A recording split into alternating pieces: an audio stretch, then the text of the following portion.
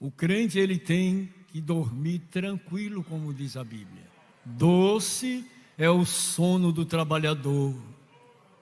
Quer coma pouco, quer coma muito.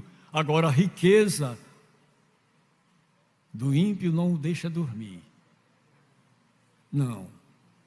É um vigia e um cachorro possante para lhe guardar. Mas o crente, ele deita e diz, como diz os Salmos de número 4: Em paz me deitarei e dormirei, porque só tu, Senhor, me fazes habitar em segurança.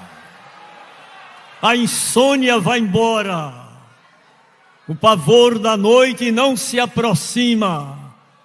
Mil cairão ao teu lado e dez mil à tua direita, mas tu não serás atingido.